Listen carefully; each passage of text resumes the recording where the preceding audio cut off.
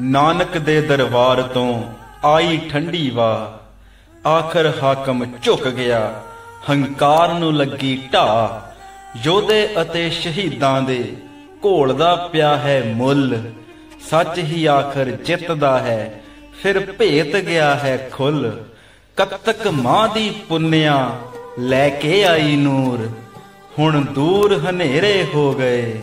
ਲੋ ਬਖਸ਼ੀ ਮੇਰੇ ਹਜ਼ੂਰ। ਹੁਣ ਦੂਰ ਹਨੇਰੇ ਹੋ ਗਏ ਲੋ ਬਖਸ਼ੀ ਮੇਰੇ ਹਜ਼ੂਰ